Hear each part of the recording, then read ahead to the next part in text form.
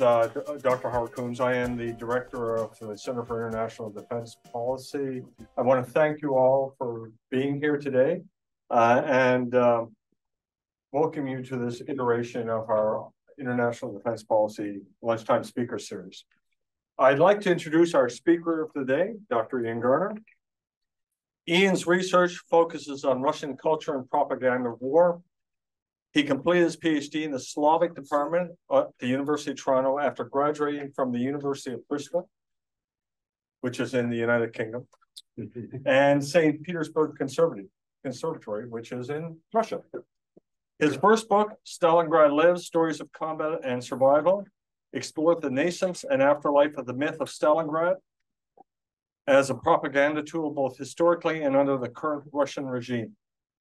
His most recent work, Z Generation, Into the Heart of Russia's Fascist Youth, and I will just, I have a copy here. I would just say it's available on Amazon for a very reasonable price, so that way Ian doesn't have to say it.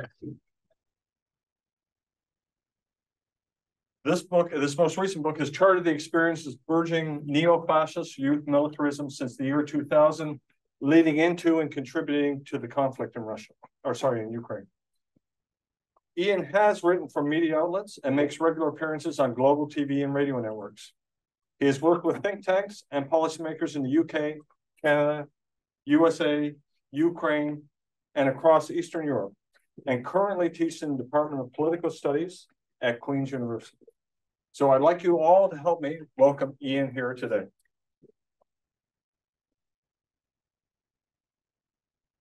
Hi, everybody. Thanks for having me, and thanks for a nice introduction, which surveyed my career very nicely. Um, all right. So I am going to begin by showing you a video from everybody's favorite social media network, TikTok, which, if you don't know, is currently the most popular social media network amongst young Russians. Probably not a surprise. And if I click next, it's only 20 seconds long.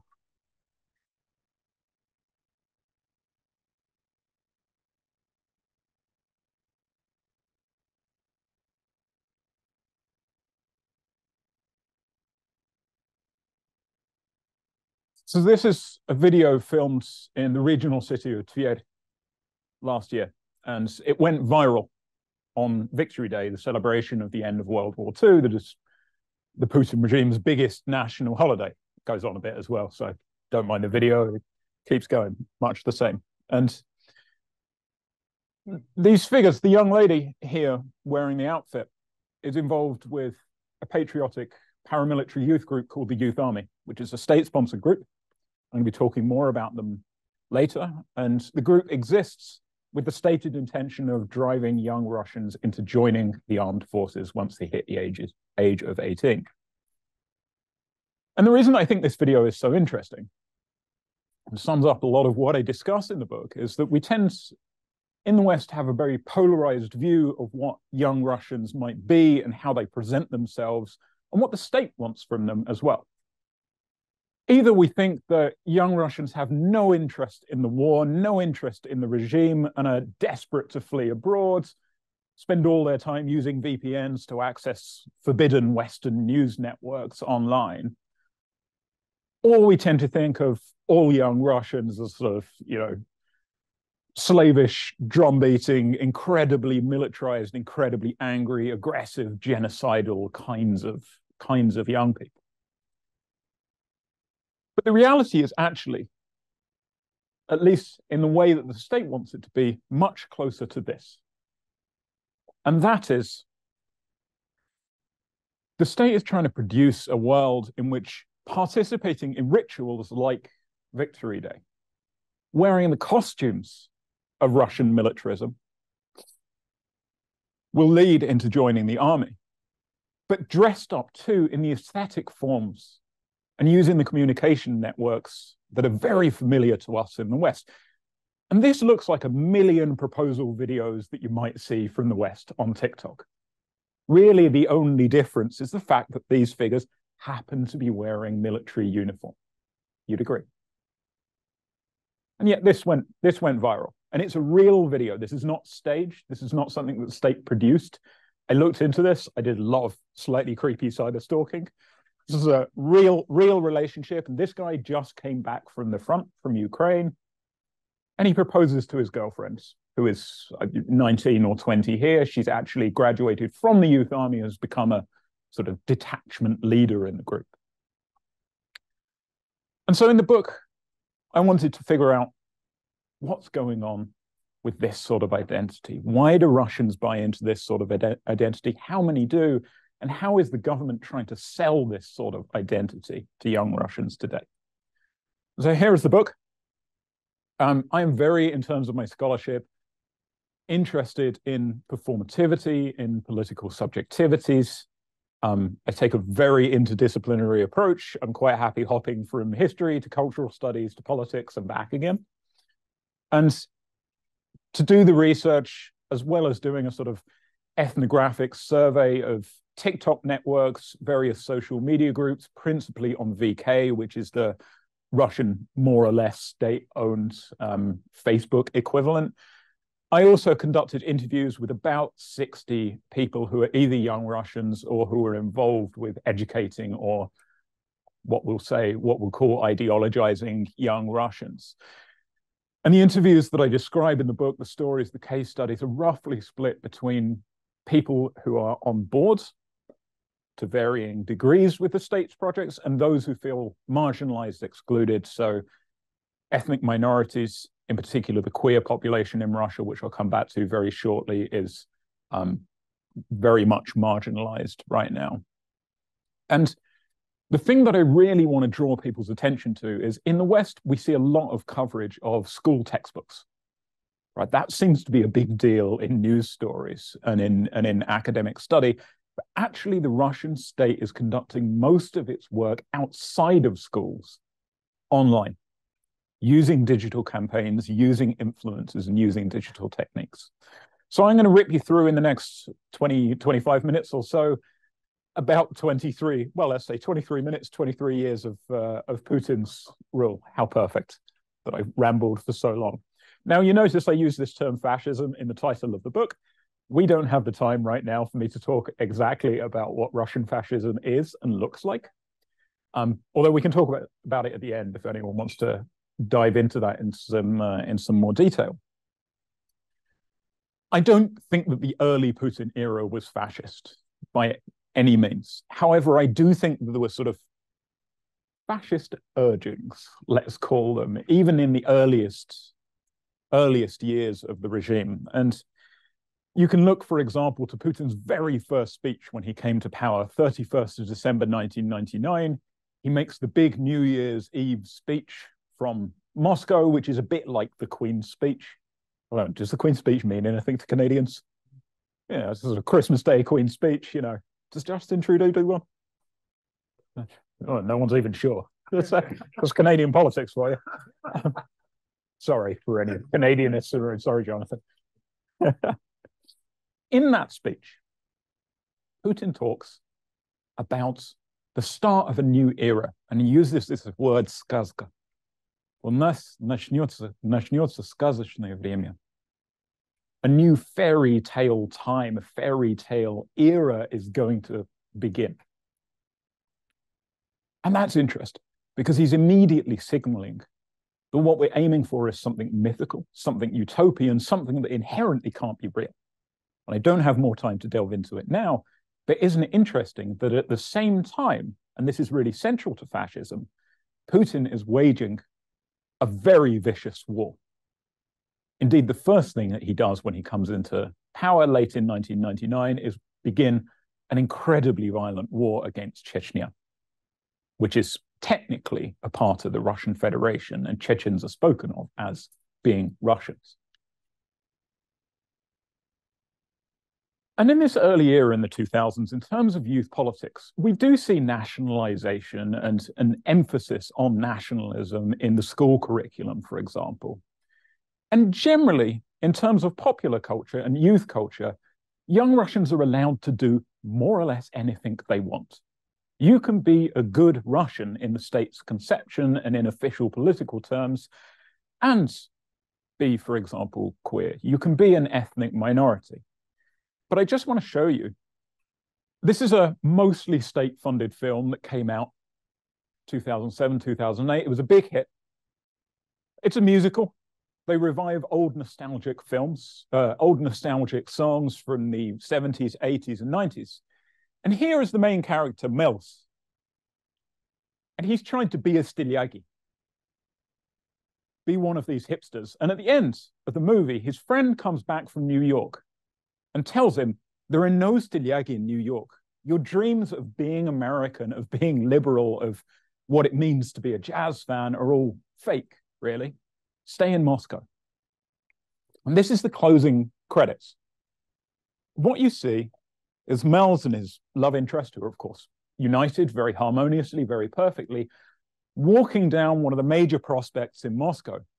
And you can see representatives from the different subcultures that have existed in Moscow in the present and the recent past.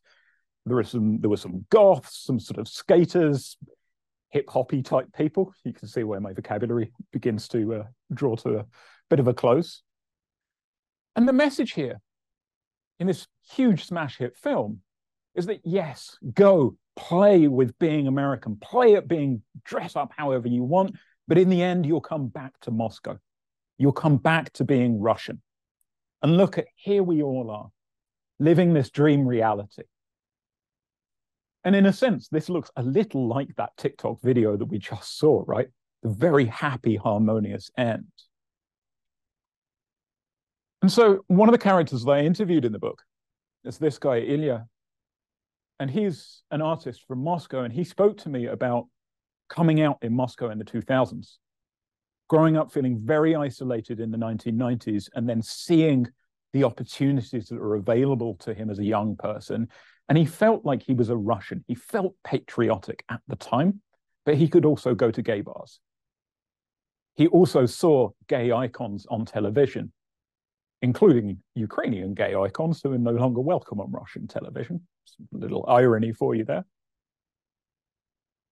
And the point that I want to make is before 2012, mostly the state was pretty hands off when it come, came to young Russians. However, on the peripheries, if you chose to participate, you could join groups like Walking Together, Идущие вместе. Nashi is the famous one. Nashi is the one that probably most people will know. Nashi means ours. Very patriotically loaded word there and football hooligan groups that were sponsored by the state and were essentially part of a program to disrupt liberalization, to disrupt this pluralization of identity, this pluralization of opportunity. And they went out, for example, these hooligan groups went out on Hitler's birthday and would beat up gays in Moscow, happening in the 2000s. But this was a minority, and Nashi was never a big movement. It was a sort of pet project of somebody in the Kremlin, and it died off within a few years, mostly due to sort of internecine Kremlin battles around power. It was never intended to be a major project. The turning point happens, though, in about 2011, 2012, what scholars have termed the patriotic shift. And this is a period when Putin is challenged on several levels by the Arab Spring that is unfolding. And he's looking at this and thinking, well, this could happen here. By the global financial crisis, which means the opportunities that have been afforded to middle class Russians in the 2000s in terms of growing incomes, travel abroad, being able to get your hands on nice new gadgets, education abroad, those begin to dry up a little bit. There are murmurings, frustration and lo and behold, protests do start. And this is where this guy, Alexei Navalny, and his former press secretary, Anna Veduta, who I interviewed for the book, and who is a very interesting figure, this is where they make their move. And there are massive protests in Moscow, and Putin is paranoid. Putin is genuinely spooked by this, genuinely afraid that this is going to lead, you know, this is a Pandora's box. So he attempts to slam the door shut. And this is a period that will lead, as I'll show you, to figures like Ilya, that young gay man, talking, instead of being at ease with myself, within years, Ilya's telling me I found myself fighting myself. I found myself forced to fight an internal battle where I could no longer be Russian and gay. It was an impossibility for me. And so, around about the 2012 presidential election, Putin begins to announce a series of much harder nationalistic policies. And I want to draw your attention to just one speech that he made the following year in fall 2013 at the Valdai Club, which is the least fun club you can imagine. It's basically a Kremlin sponsored policy mill. It's it's designed to look like a sort of a real think tank type organization, but it's most definitely not. And Putin often attends and makes a speech in their major fall meeting. And the speech they made in 2013, the backdrop to the screen says Russia's diversity for the modern world. And Putin talks about the evils that are coming from abroad and influencing young Russians political correctness, pedophilia, homosexuality, feminism, militarism, and even Satanism. All words he mentions, those are not synonyms that I'm choosing, those are his actual words. Russia's young, he explained, were under attack, and only a spiritual revolution enacted through a policy of cultural therapy could save them. And in response to this speech,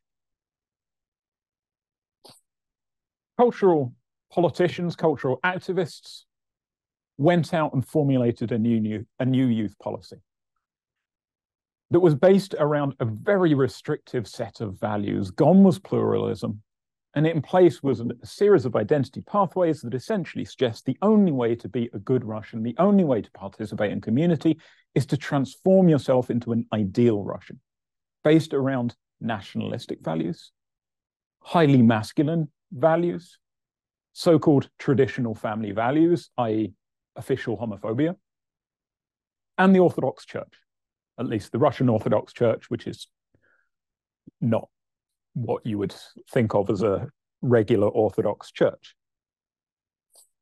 And in the book, I, there are some, I don't have time to go into them now, but some very strange reports that come out of the Valdai Club at this point that are riven through with racism and homophobia. And this is the point when you start to see the first official anti LGBTQ laws enshrined in federal law in Russia when propagandizing um, homosexuality to or non-traditional family values, whatever that might mean, then the gray area is quite deliberate.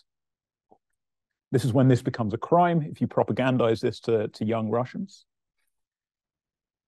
But it is not just about the stick, right? It is also about the carrot. And the state also began at this time working, for example, with cultural producers like Embrace Yourselves, because this is going to be the, one of the worst songs you've ever heard. Timati, and Timati is a very successful Russian rapper who is something like Russia's Jay Z. He owns a burger chain, clothing line. Sorry, Rebecca, you know what's coming. he produces songs for like dozens of rappers that are in his stable and it all looks like Western content. So Black Star is his is his label, Black Star Mafia. And this is a song that he produced with a guy called Sasha Chest, who sort of produced, you know, pulled out from nowhere, produced one or two songs, and then disappeared again. The song "Мой лучший друг President Putin," my best friend is President Putin. Imagine if Jay Z is singing this about Trump right? High production values. You know, this is not sort of shoddily made state propaganda. It's not quite my cup of tea. But the point of this material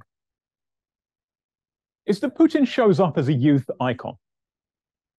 We see, or we start to see, as we go through this song, nationalistic colors.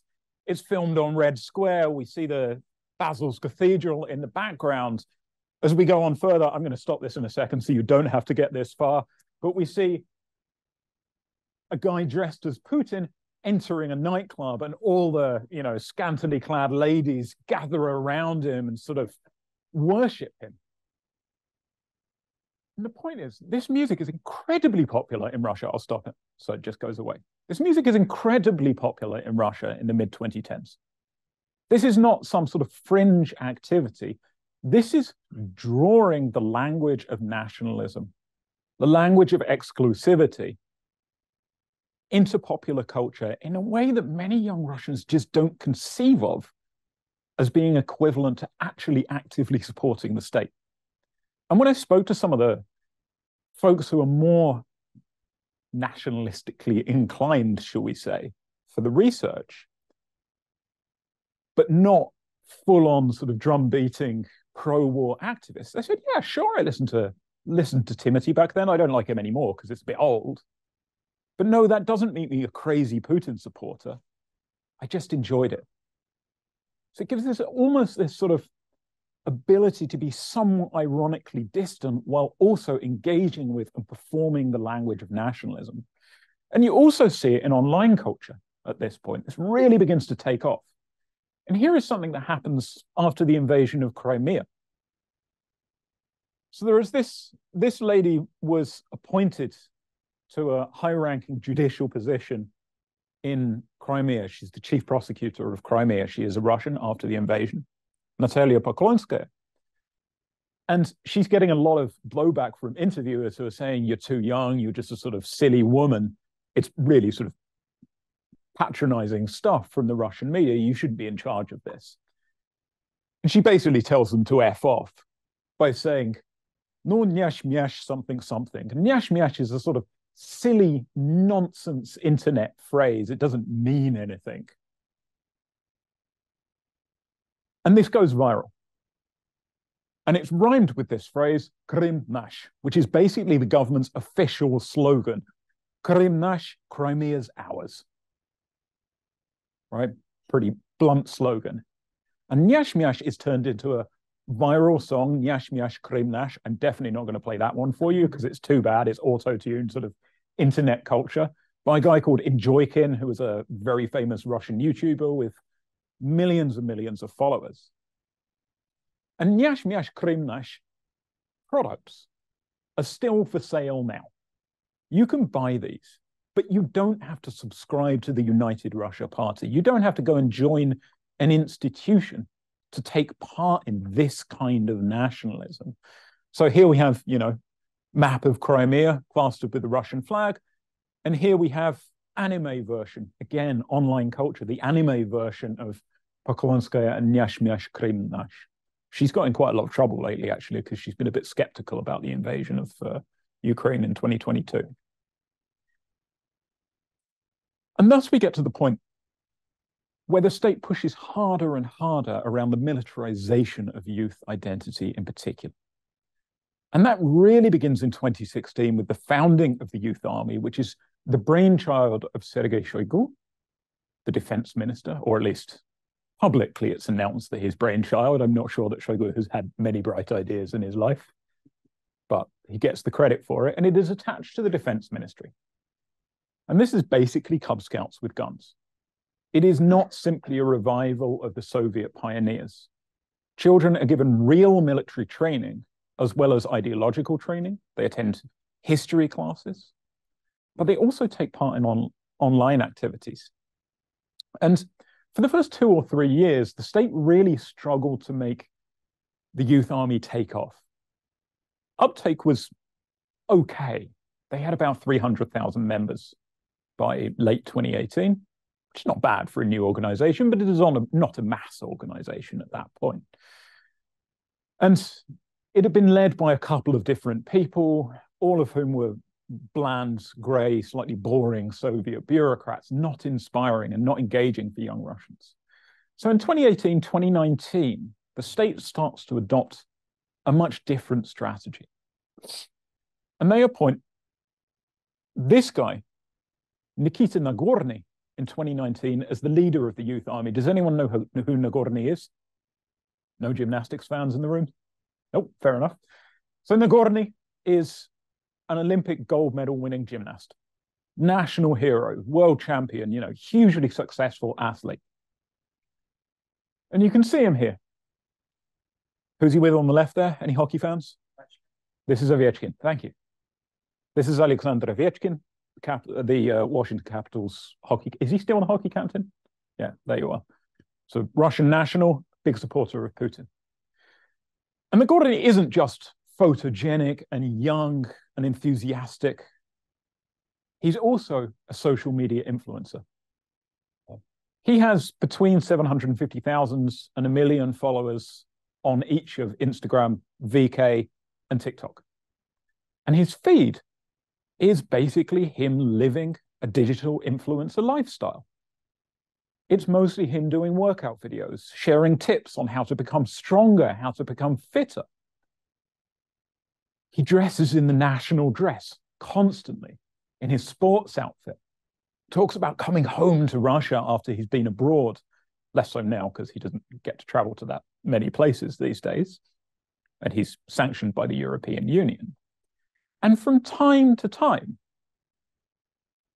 yes, he'll meet Ovechkin, but then he'll post a video of him wearing the Youth Army uniform and spreading the messages of the Youth Army.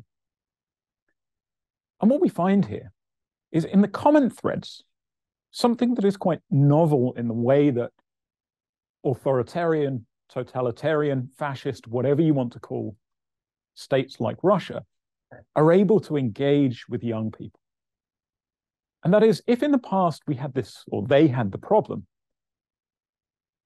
of behind closed doors, the closed kitchen door beyond which the state struggles to reach. Well, nowadays, constantly, kids go home, they turn on their smartphones. And in their smartphones, even if they're not a member of the youth army, although there are now 1.6 million members of the youth army and they are struggling to keep up with demand, the numbers are continuing to accelerate. Even if they're not a member, even if they're not following these groups, their friends are liking, their friends are sharing, their friends are commenting, and thus they see this interaction with the state constantly. And even better for the state, not only can Nagorny be this sort of, you know, idol, role model of what it is to be the perfect Russian, white, masculine, physically strong, you can even get him to talk to you. And from time to time, the Nagorny will respond to his followers. Not very often, but they can engage in a meaningful participation online some of the people I spoke to, and there, there are a range of parallel groups and parallel figures, but some of the young people I spoke to talked about how exciting it was to feel like they were part of a community online, part of a group. And what I thought was very interesting was the fact that some of those young people were in very far flung and remote Russian towns and villages, where 20 years ago, there was no Nashi to join there. There was no meaningful community to be built there because it was just too irrelevant. But now anyone, anywhere can touch this kind of glamour and can essentially participate in a political rally 24 hours a day, seven days a week. And that's a very meaningful distinction, and it's something the state understands. And so while our eyes are very much on what's happening in Russian schools and classes, we need to turn our attention away from that and look at the way that the state is engaging people online to understand where this militarization might be successful in the future. And I just want to show you that children are participating in it meaningfully. So here is a video that a couple of teens uploaded at a youth army sort of gathering, viral, you know, viral dance. And uh, apparently, Russian kids have been doing this dance. I, I don't know what it is, and I, I haven't seen it anywhere else. But they spontaneously decided to do it. This is uploaded to their personal accounts. And yet, at the same time, pop music. This is how you put together a gun. And there are lots of very, very similar videos. I did not have to go hunting for these. And I actually have written a, another article analyzing very closely some TikTok sort of communities and found that around 25% of the videos have actually showed some form of sort of highly militarized or violent content in this regard. So what the state promises is belonging through joining in its military projects. And here is another, this guy is a sort of young military uh, youth army influencer from the Russian regions. And you can see here, he's just doing normal team stuff. Most of his videos are about the homework that he's doing, what's going on day to day, silly practical jokes. But a lot of the time, he's simply wearing his youth army uniform.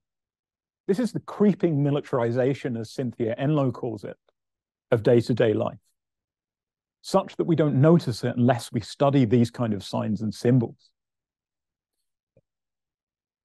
so, what the state is promising is not just belonging, it's promising through war and destruction, joining the military. And we can talk more about this kind of counterpoint of destruction and regeneration if you're interested. This is not a war about the past. This is not a war about bringing the Soviet Union back when we're thinking about Ukraine. This is a war that promises a future, a future of belonging, a future of, of racial purity, a future of national strength, but also a future of individual popularity, a future of everybody's an influencer and everybody's successful. So I'll, I'll stop there because um, I could talk all day. Thanks very much, Ian. Hi, everyone. Uh, so I'm going, I have the privilege of moderating. Uh, we are using this mic. Now, this is not for you folks in the room. It's for the people who are coming in virtually. So when you ask your question, I'll make sure you have the mic and it's turned on and we can go from there. So who would like to start off? Well, thank you for scaring the shit out of me. um, I, I, get that a lot. I started your book and uh, I got into the third chapter, and frankly, it, it frightened me. I'll probably go back to it at some point. Here's the thing that keeps me awake at night the prospect of a post Putin meltdown and the emergence of warlords across what is Russia with nuclear weapons and millions of youth militarized into this culture and a forever kind of Haiti on a continental scale. Mm. Can you speculate on the prospect of that? All right, let me put forward then the optimistic scenario because it's still only lunchtime. I, there is some really good evidence for what you're suggesting, and if you're interested in this this sort of breakdown, then Alexander Etkind has released a new book, Russia Against Modernity, which I think Alexander and I don't see eye to eye on a lot of things, but it's a really good book, and you should you should have a look at it. And he talks about this kind of breakdown actually leading to a, a more positive future through the lens of climate change, in particular, and environmentalism. Um, I think it is hard to see for me the idea that warlords are going to take control of Russia. I just I just don't see a large scale breakdown of the Russian Federation happening. Um, let's say Putin dies tomorrow, and you should read the conclusion to my book as well, which is positive until the last page, and then it's very negative again. Um, let's say Putin dies tomorrow. Who takes charge? Well, it's probably worse. I don't think there are many worse people who could take charge in Russia. I mean, yes, there are, but you know, it's not going to be a Ramzan Kadyrov. It's not probably going to be a military leader. I can't see a military coup happening. You know, somebody like Mizintsev, who is the so-called butcher of Mariupol, has been bandied about as a potential leader of a military coup at some point. I just can't see it happening. He doesn't have any interest in politics he really is a kleptocrat. You know, he's out to embezzle and get what he can. What's much more likely to happen is that somebody who is Putin adjacent steps into power. And by that, I mean maybe somebody like Patrushev, who is one of Putin's longtime BFFs. They're very close, who has links to security agencies. And they will use those links to a particular group to ensure stability within the country because collapse in Russia really means mutually assured destruction for everybody. And I can't see any of the people in power allowing that to happen. And I think you saw that play out last year with Prigozhin. Nobody, nobody actually followed Prigozhin, and nobody even sympathized with Prigozhin publicly very much, except to say after the fact, well, what a wonderful patriot he was. And he was just too enthusiastically patriotic for his own good, which is the way that these villain, villains are usually written off in the public spectacle that is the Russian media. The army didn't rebel, not even any military units, individual soldiers. You didn't see the, the FSB rebelling. Nobody in Moscow rebelled. So there was a lot of noise about it, but there was no sign of collapse at all. And we've seen multiple small protests happen, moderate small protests in Moscow on the outbreak of the war. That was stamped out very quickly. Um, we saw a protest just a couple of days ago in Bashkortostan, which is a fairly remote region in the south of Russia that is not an ethnic Russian dominated region, stamped out quickly, and, and those protests seem to have died already, almost as fast as they began. So I, I don't think we need to worry too much. Of course, it's something that we should be mindful of, but I, I just can't see it happening. Hope you're right. Yeah, me too. Anyone else? Sorry.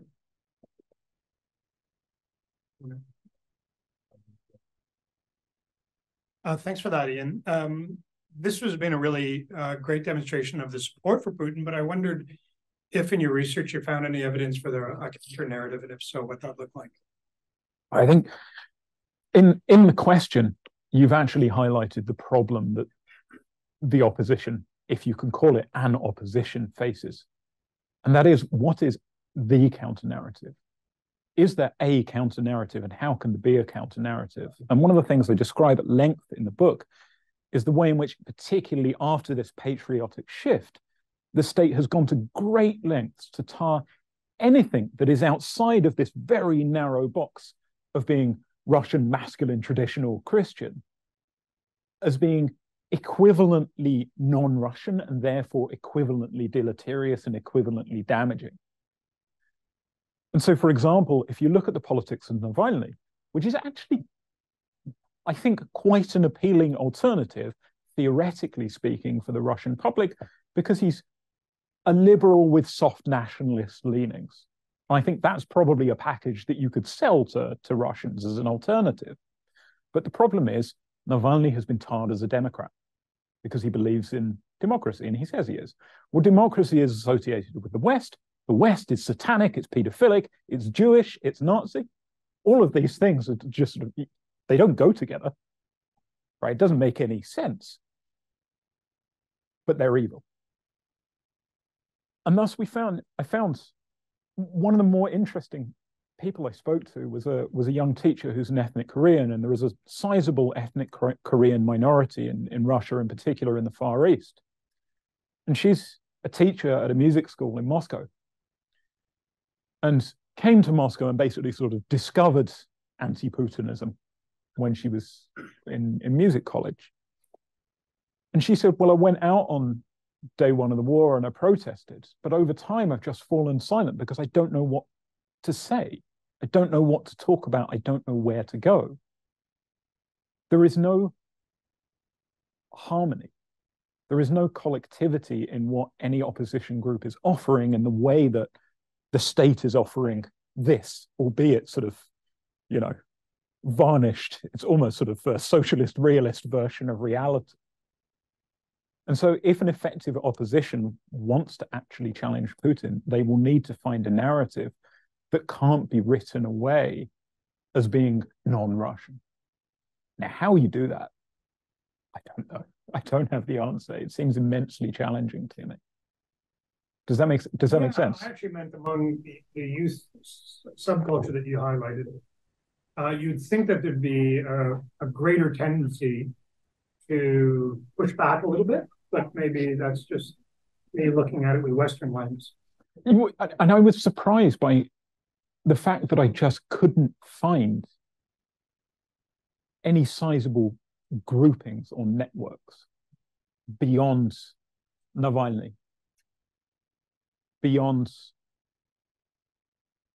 obviously Western influence groups. There is a guy, Ilya Ponomaryov, who's sort of been knocking around Russian politics for a while and is very, very nakedly pushed from the outside. And I'm not quite sure where his his money and his funding comes from, but it's it's pretty transparent stuff. But you do, I mean, you do see lots of willingness to engage and interest in engaging.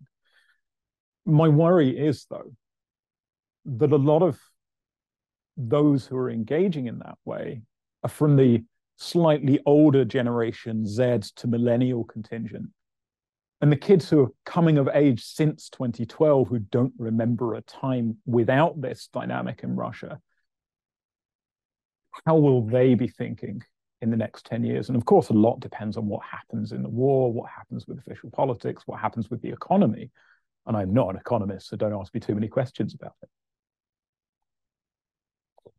I have one online question. From Samuel Russell. Hello, Ian. Thank you for this fascinating presentation. I am interested if you know if there has been any counterattacks made via social media made by youth influencers in Ukraine or other countries. Essentially, I am wondering if Russian youth have access to media outside of the Russian echo chamber, and if so, what strategies do you think could be most effective to help youth get other perspectives and information? Thank you. Excellent. Thank you. Good, good question, Sam. I want to thank you for joining us and listening online. Um, so yes, there are substantial efforts being made. And let me give you a particular example of one of the more effective models that I think we've seen.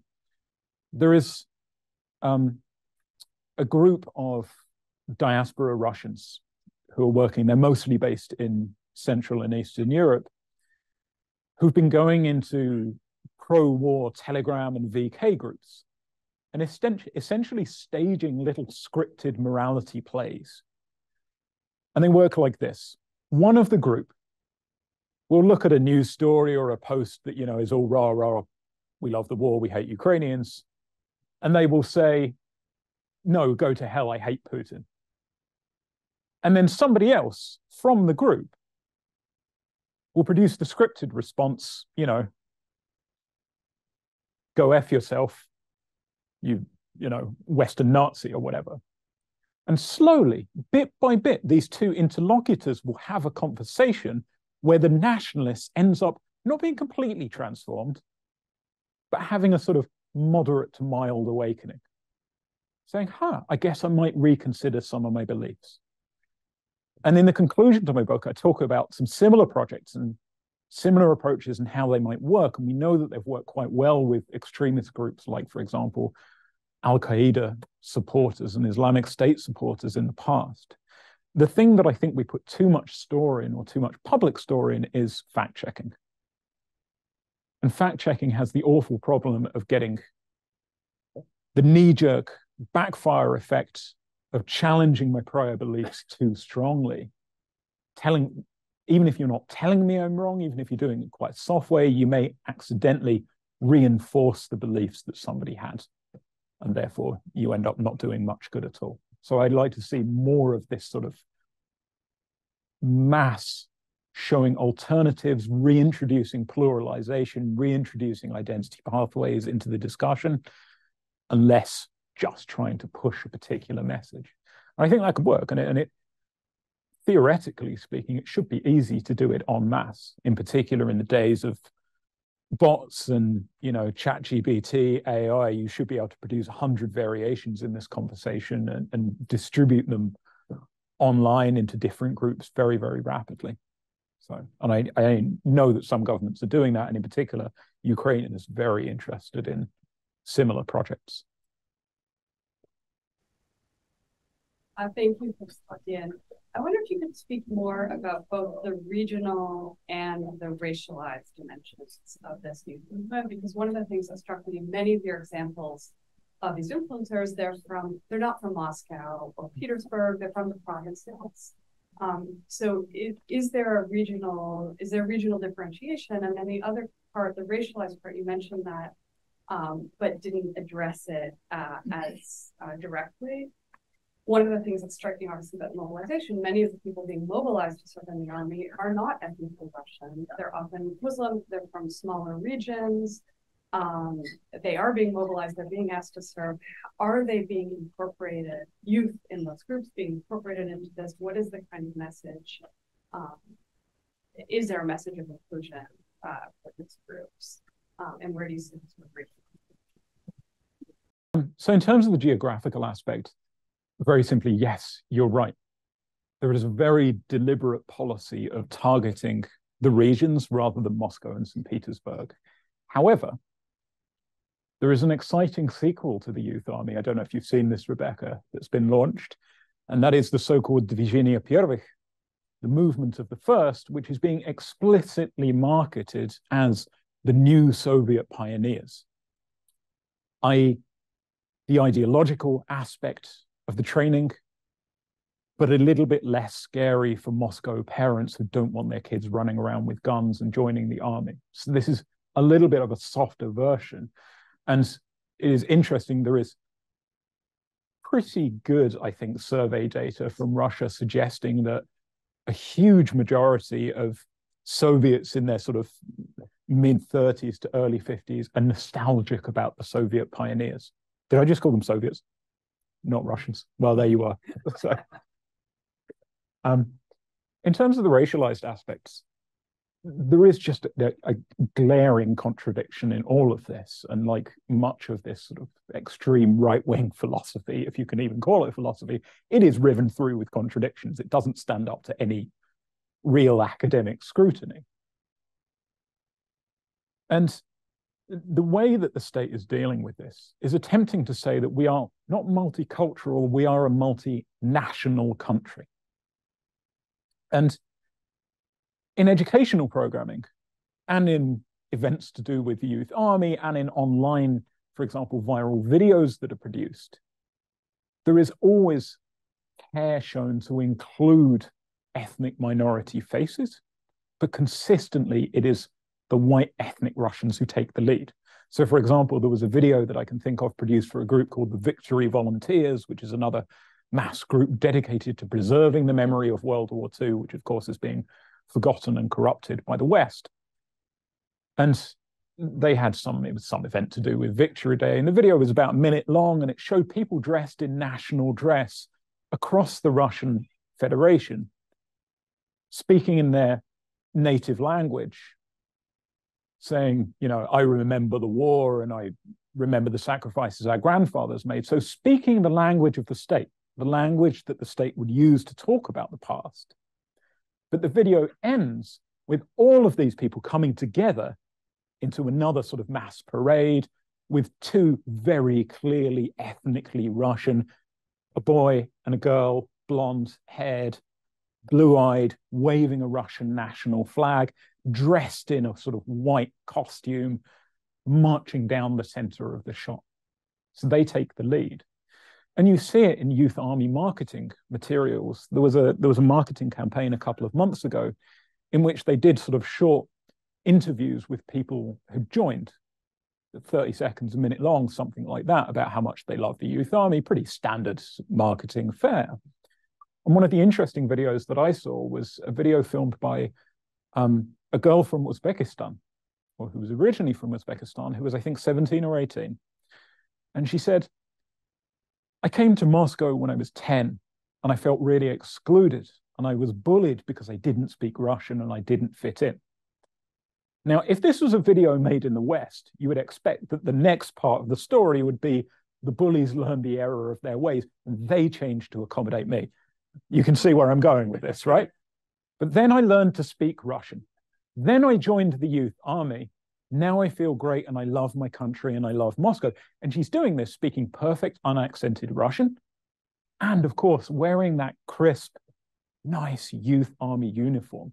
And symbolically, she's transformed into being a Russian, even though she's not, even though it's impossible. So, but highly contradictory, right? Difficult to deal with. And I don't imagine that this this sort of marketing is going to solve the problems.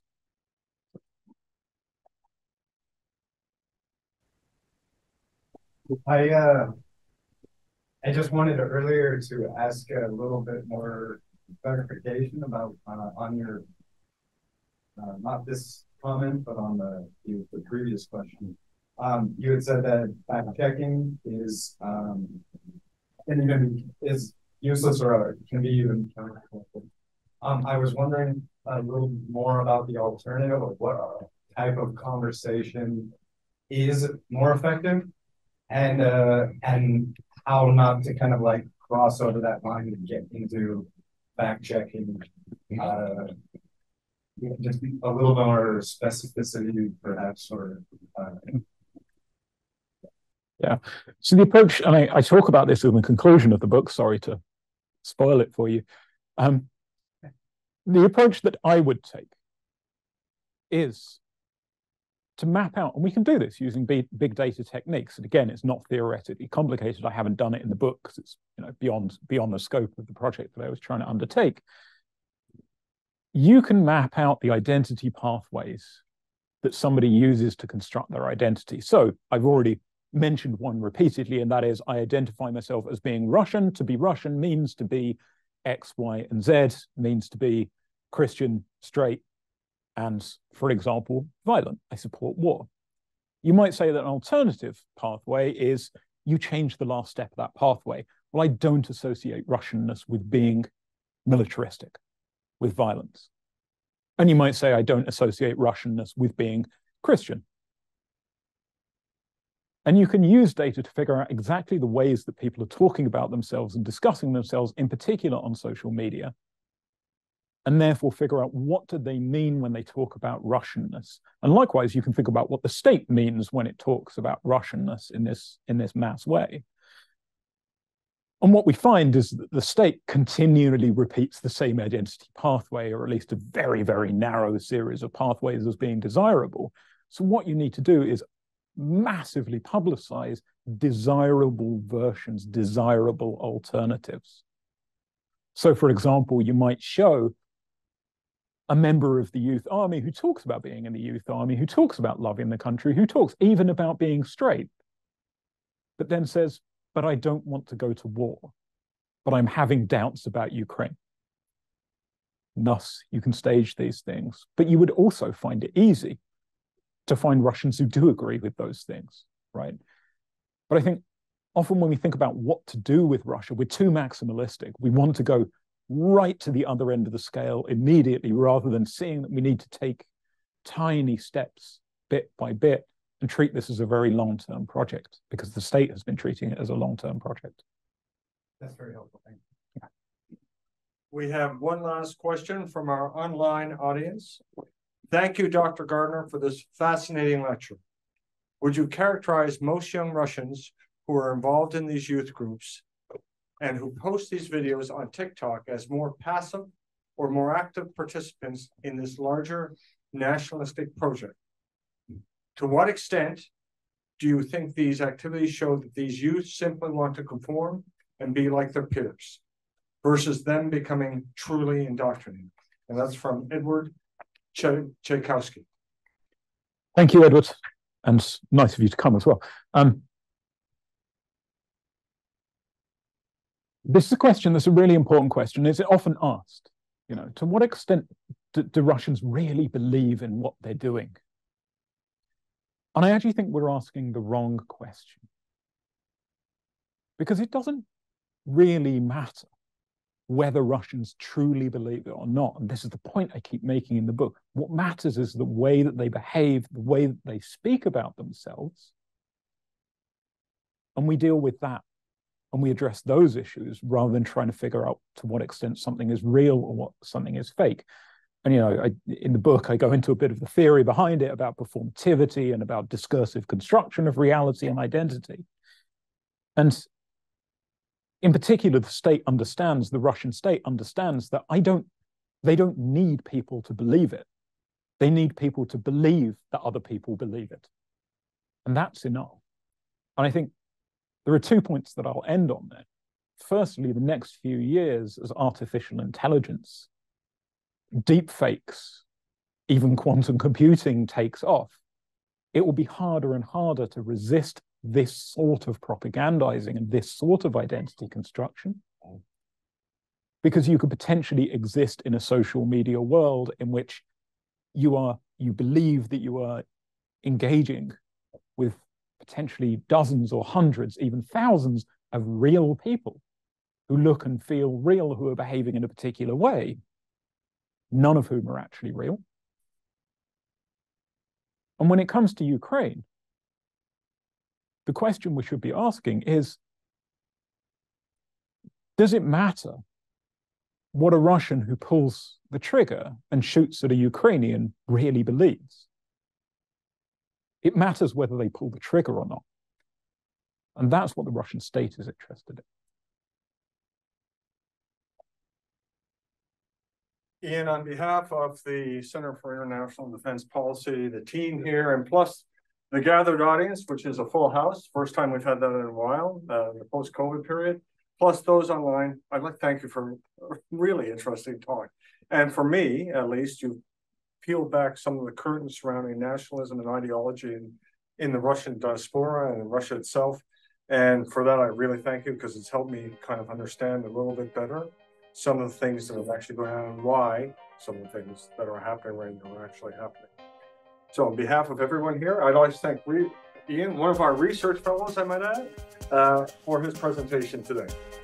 Thank you.